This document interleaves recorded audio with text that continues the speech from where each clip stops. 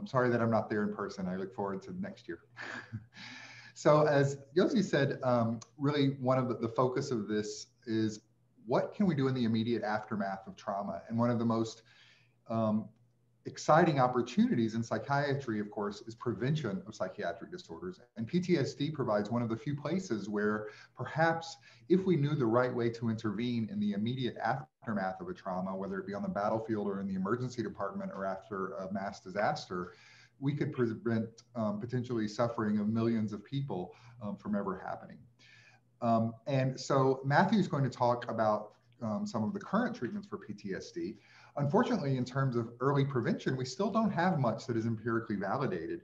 It's mostly along the lines of support, um, providing um, physical support, water, food, shelter, psychological and emotional support, communication to family members, communication about what's going on, and really, the, and then as people recover or don't recover over time, providing them appropriate psychiatric and psychological support the goal of our field and what I'm going to be telling you about is what we hope is the future for how by understanding the biology of early memory trauma consolidation might we be able to have new treatments and interventions to prevent PTSD from ever happening. So again, post-traumatic stress disorder is often um, historically thought about in terms of, of military, and it was you know first described by the ancient Greeks and Romans after um, war. Um, but we now know, of course, that it happens in all um, people re related to trauma after um, surviving a near death or very severely threatening experience. And whether that be fires or floods or, or, or um, interpersonal violence or, of course, mass shootings and, and other unfortunate human related disasters, we can have PTSD. In brief, um, we understand quite a bit now about the circuitry of post-traumatic stress disorder, in many ways more than we do many other psychiatric disorders, which also makes PTSD particularly tractable from a scientific and intervention perspective. There while there are many brain areas involved, those that are most understood relate to the triad, if you will, of the prefrontal cortex, the hippocampus, and the amygdala. The amygdala is really thought of as the fear hub or the threat hub where many emotionally salient responses um, occur, essentially threat re reflexes. That's constantly modulated by prefrontal cortical activity that dampens or suppresses amygdala activation and by hippocampus, which provides the contextual information all the way back well over 100 years ago it's Pavlov, we under, have understood about the learning components of, of previously conditioned and unconditioned stimuli being paired. It's now understood that a lot of that Pavlovian conditioning is occurring at a molecular and cellular level, specifically within the amygdala. And for example, in a car accident situation, a car tra a traffic um, crash, one might previously have a conditioned stimulus such as a neutral car or a road, um, but after a car crash where there's pain and threat and near and, and death related experiences, that can act as the unconditioned aversive signal. So that after this event, perhaps one doesn't want to drive or be in a car or be near a car or may jump every time one hears an, a sudden noise. And the thought is that through synaptic plasticity events at the initial trauma encoding, via molecular mechanisms, um, via NMDA, calcium mechanisms, BDNF, and other growth factors lead to structural changes in the synapses coming into the amygdala and the projections going out of the amygdala. So that after this, the conditioned stimulus alone is sufficient to activate a threat or fear response. And work by people like Michael Davis and Mike Fanselow and Joe LeDoux over many decades showed that hardwired projections from the amygdala to many subcortical areas, such as the hypothalamus, the brainstem regions, and the um, other subcortical areas, lead to the essentially panic th or threat reflex, leading to the increased heart response, the gastrointestinal upset, the hyperarousal, the vigilance, the increased startle, the freezing, and the hypothalamic pituitary adrenal axis cortisol response.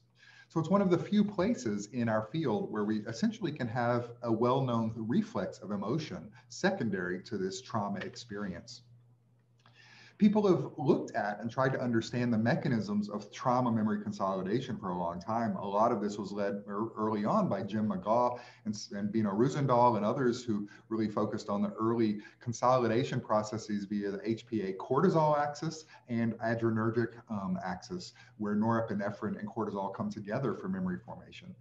And McGaugh um, really worked out that there were several time frames of, of memory consolidation. There were early short-term minute time frames that last from seconds to hours, longer term time frames from hours to days, and long lasting from day, months to lifetime. And people such as our own Josie Yosar, Zohar have talked about the idea of a golden hours. Could we intervene in these early short-term memory consolidation period in a way before the memory is ever really fully instantiated to prevent it from ever becoming permanent or at least detrimental as it does for PTSD. Of course, at a molecular level, Eric Kandel won the Nobel Prize for his early work on learning and memory, and many of the basic mo molecules and um, processes that he worked out in aplysia sensitization still hold up in mammalian learning and memory. For example, the role of CREB in many of the um, memory systems and synapse related um, molecules are all activated in these early immediate period with growth factors and axon and dendrite plasticity agents. More recently, um, Joe LeDoux and um, work by his group over many years showed that the same processes that we understand physiologically, like long-term potentiation in the projections from the thalamus to the amygdala and the cortex of the amygdala, mediate that structural and physiological plasticity underlying trauma memory consolidation. My own work with Michael Davis, when I started in the field, um, began to look at the molecular mechanisms of that memory consolidation.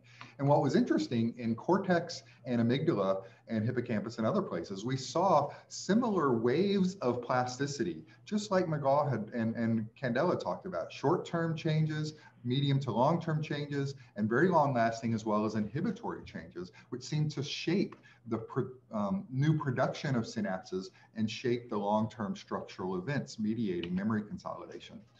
So that we now as a field understand a lot about the process of memory, that a traumatic event leads to short-term memories that then are consolidated to long-term memories, Reactivation of those long-term memories brings the memory back into working threat memory that can then be extinguished over time. And most of our current psychotherapies based on exposure are based on this extinction process where we learn a new safety memory that then inhibits these other memories there's a lot of excitement about the idea of reconsolidation. Can you make a memory labile and then suppress it again and essentially make it erase after it's become permanent.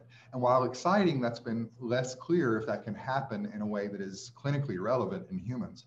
But what remains very exciting is the very early process of consolidation, because there are these minutes to hours, these golden hours, as Zohar says, that one might be able to intervene and prevent that initial memory from ever being formed in the same way. So how do we do this in humans? Our group has been working for about 10 years now in emergency departments. It started with a collaboration with Charlie Nemeroff at Miami when I was still at Emory, and where we um, enrolled about 500 people in the aftermath of trauma. And, um, and what was exciting about that is we were able to gather blood within the first minutes after they came into the emergency department. And once they were stable, we were able to consent them. And if they did not consent, the blood was discarded. If they did consent, we were able to have this early blood biomarker. We also collected physiological data, wearable data, and brought people back for neuroimaging and physiology and followed them up for a year. And those early um, data from that study then led to a much larger um, multi-site study led by Sam McLean at North Carolina, Karestan Koenen and Ron Kessler at Harvard Medical School and myself. And this project called the Aurora Project had over 25 emergency departments across America um, with the goal of enrolling over 5,000 patients to really work out the um, have a large shareable data set for really understanding the full trajectory of physiological, psychological, and neural outcomes in the aftermath of trauma. With, of course, the long term goal is can we use these data to both predict who's most at risk in the aftermath of trauma and what are precision psychiatry treatments we can provide for them. And two of the relatively early data sets that have come out of this, you mentioned Isaac Galatzer-Levy, who's friends and colleagues of many of us, um, and some of their work.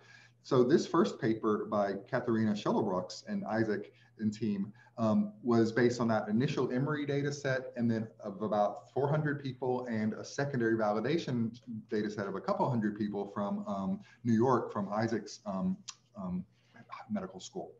And the take home message is they were able to use machine learning um, and take a whole host of different um, types of data, both self-report data, medical record data, and blood-based data from the emergency room to make predictors of who may predict go on to have PTSD months or up to a year later.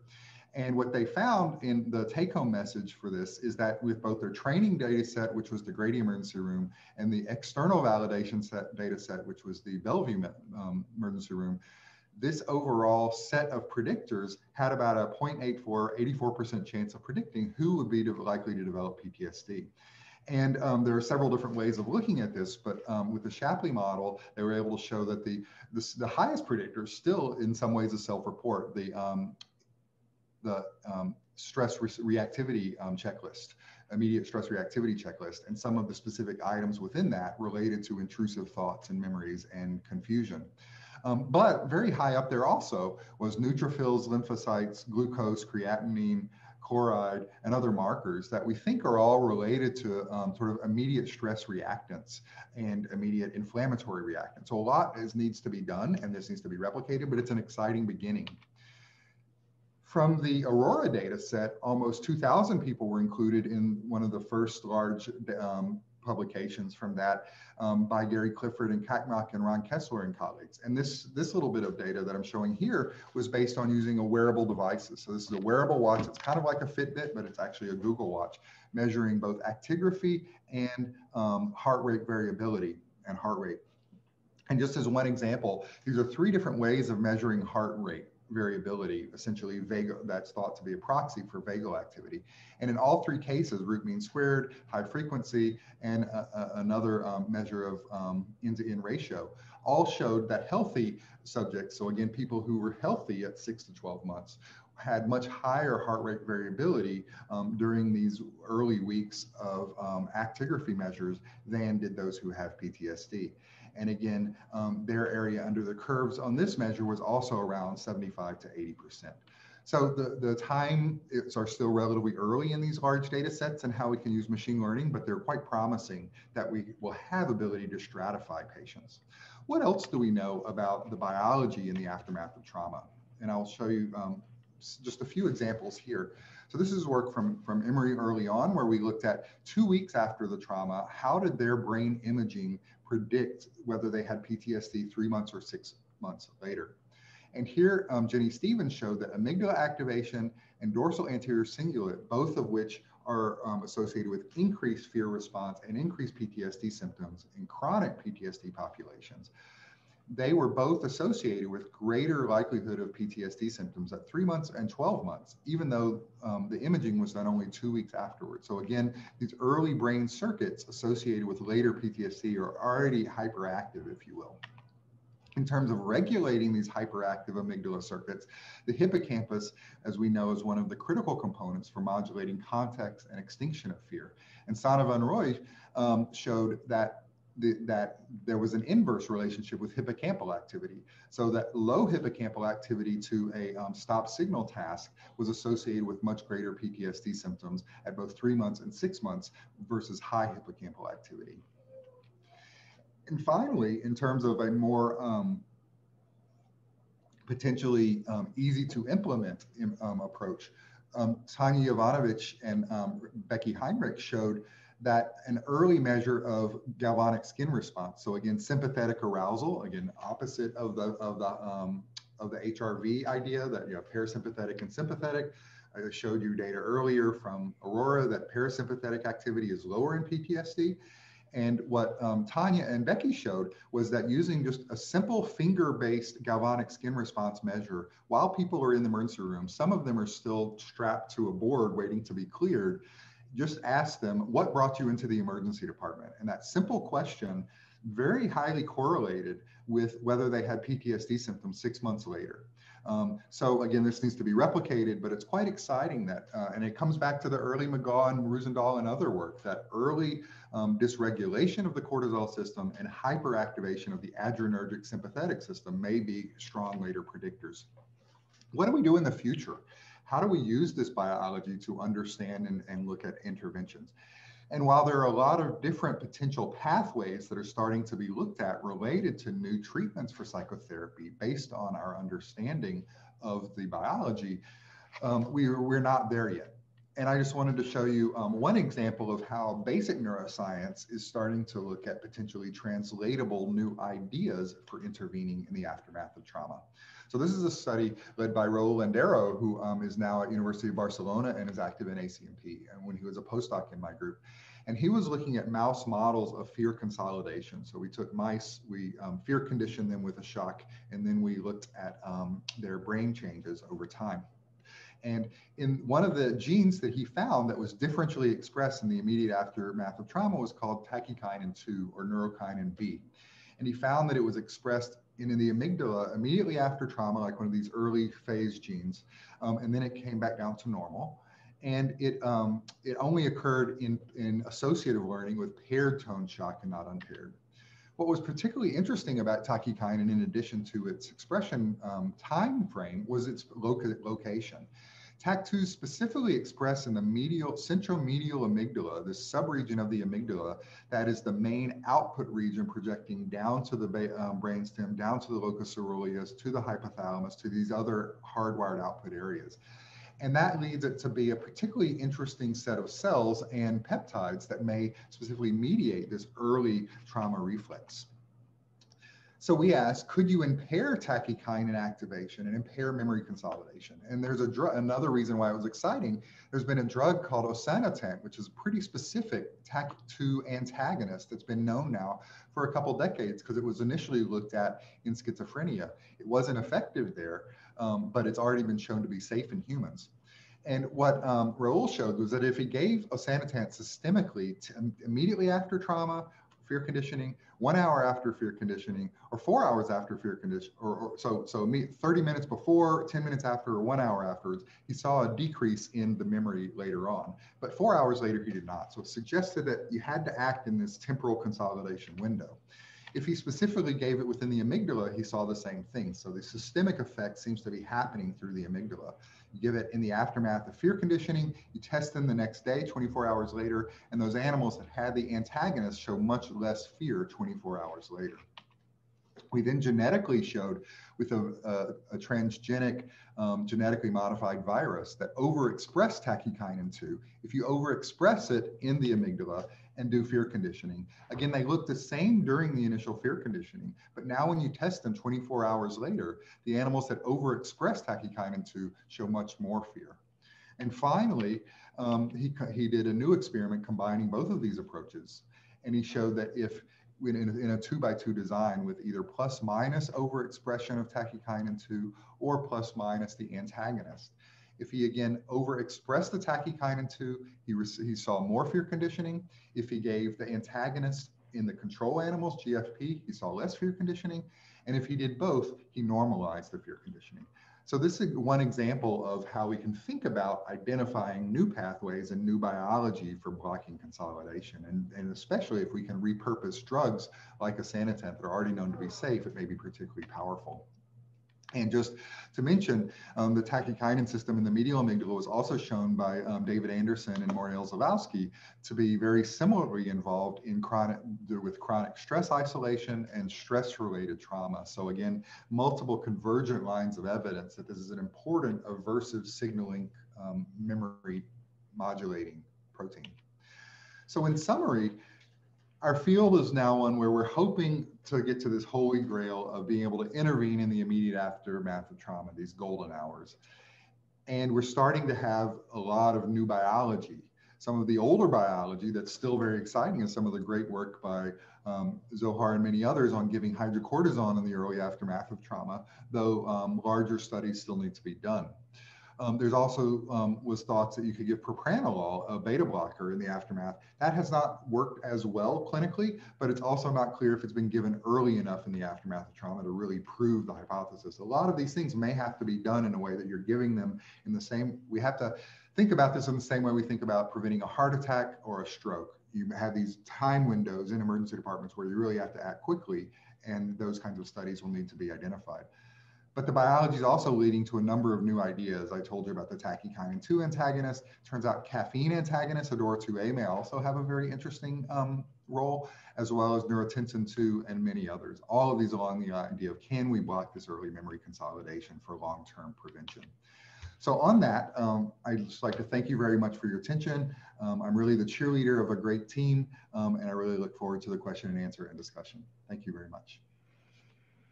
Thank you very much, Kerry. That is a, is a, is a beautiful overview, uh, a very, very comprehensive of the, of the state of the art or where we are in this, in this really what you said several times in this golden hour opportunity in the, in the immediate aftermath after traumatic stress exposure. Um, I, I, I made a few notes and I have, I have a, a couple of questions, but, but if we, um, if we do justice to all the attendees, we'd like to first give the, give the audience um, um, an opportunity to, um, to bring their questions to the table. And what we have done is Iryna is sort of the moderator of, of the questions that now, if we open up to the Q&A, can be addressed, uh, addressed to you. Um, Iryna, is, is that okay that you will you will. Yeah, yeah, thank you. Our, yes. Yeah, yes. go ahead. Professor Ressler, thank you for this uh, great presentation. I can feel that we need more time to go back to the presentation and maybe digest it more slowly. But uh, we've got some uh, uh questions in advance, and I know that in the audience as well we have uh, we have questions from from our um, colleagues. Uh, am I right? Do we have questions? Yeah.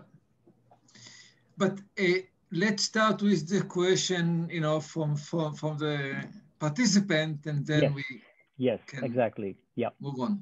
Yeah. So maybe you first introduce yourself, your name, and then uh, briefly, because we we'd like to give uh, a, a, a, few people the opportunity to introduce and to um, uh, ask their question.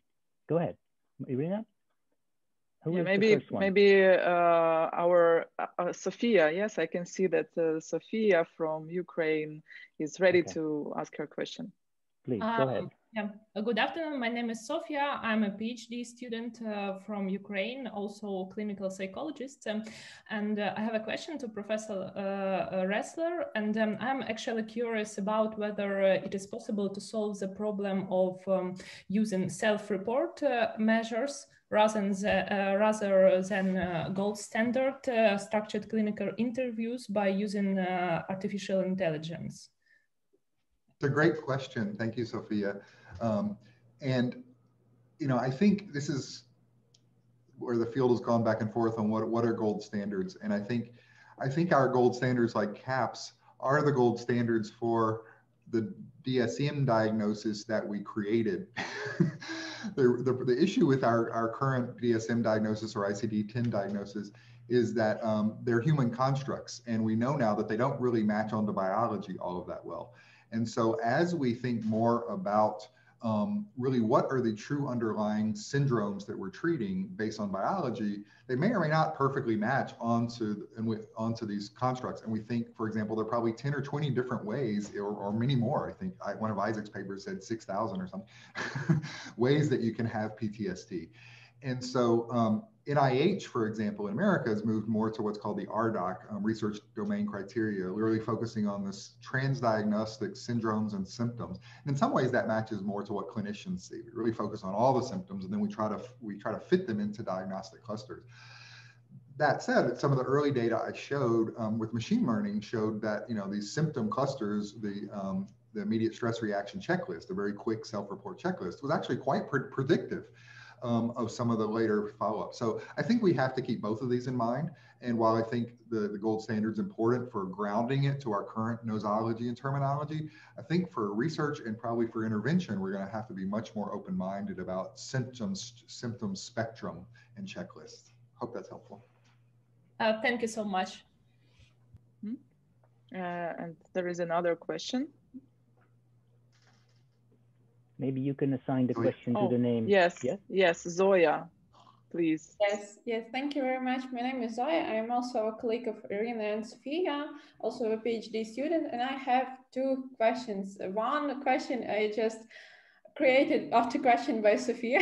so this question is, can we predict some, uh, or by E or machine learning, can we pre uh, create or predict some heart rate that can uh, can give us some symptoms that, that we can assume that there are PTSD would be something like, you know, this Apple programs about the stroke or something like that? I know it's uh, too unpredictable, but maybe sometimes.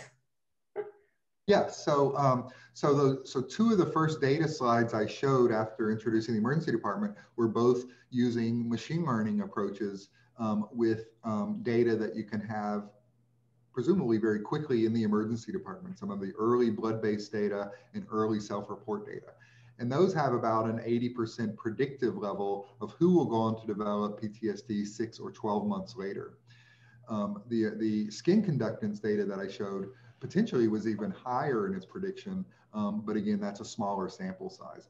So while we don't quite know, um, we don't have the perfect algorithm yet um, by far, um, and then how to best implement that algorithm will be a whole another problem. Um, it does feel promising that we're starting to be able to get close to prediction enough. You know, whether how much greater than say 90% we'll have, I'm not sure but that still um, would be pretty powerful if you could say, okay, you have a 90% likelihood of later developing PTSD. We really need to, you know, put you into a treatment program or into a prevention program, um, and you would still be able to separate the vast majority who you know will not have PTSD from that smaller group that you need to intervene with. Thank you very much. And my uh, second question, I know it's too in advance, but uh, maybe we can predict what uh, type of trauma can create PTSD, you know, specific mm -hmm. type. Right. It's a great question. What type of trauma? And you know, that's probably one of the, the those things that we've studied as a field longer because we haven't needed as much complex tools to ask that. And I think that you know uh, we've got many you know other world experts on the call here, and they can chime in. but my take on that is, um, you know, the the thing that is held up is interpersonal trauma. Um, if interpersonal violence, um, if it's someone you know or someone close to you, you know, in, in which there's relationships, that's often the highest risk um, versus sort of objective external traumas. Um, you know, maybe a car crash where you didn't really see any faces.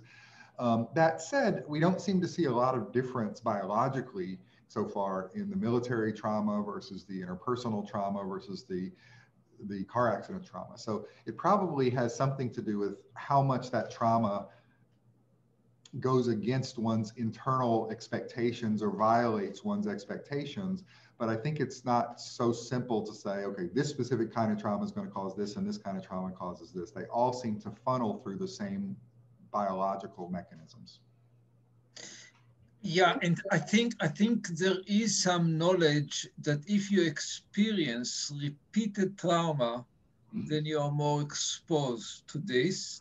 Right. And there is some suggestion that intentional, that uh, if the individual, you know, kind of sense that his is uh, intended toward him, like personal, is more prone versus, let's say, um, earthquake where it's not something that uh, is intentional. Absolutely. And building on that, I think what I didn't mention at all, but we study a lot in the field studies a lot, is childhood trauma. So certainly child abuse and childhood trauma during development changes the brain in a different way. Um, and so that is almost certainly a different thing. People who have early childhood trauma and then later trauma compared to those who did not have early childhood trauma. Do okay, there is, there is there is another question from from the audience, but from from the chat. Uh, I think from Please. Isa. Yes. Okay. Uh, do you want Isa? Do you want to uh, ask your question by yourself?